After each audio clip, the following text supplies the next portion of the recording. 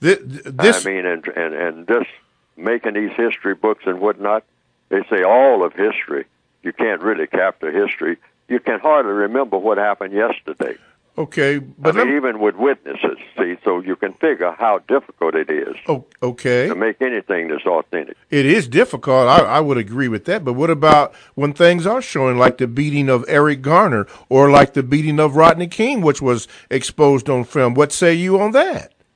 Sure, you, you these things are, are really. I mean, thanks that we do have uh, videotapes and all like that today.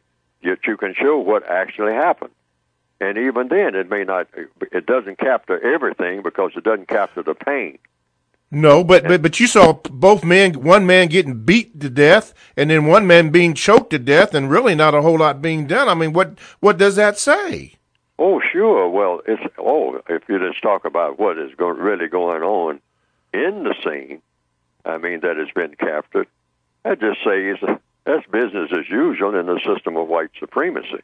That's what that says. And if you're talking about going back hundreds of years and all like that, since or thousands of years, some people say a couple of thousand years, that white supremacy has been in business. I mean, you talk about all of the above. Okay, That's all. It's just white supremacy, Okay. business as usual. all right. Like the case that you just cited about the rape case. That's business as usual Business in as the system usual. of white supremacy. In the You system- take for granted these things happen.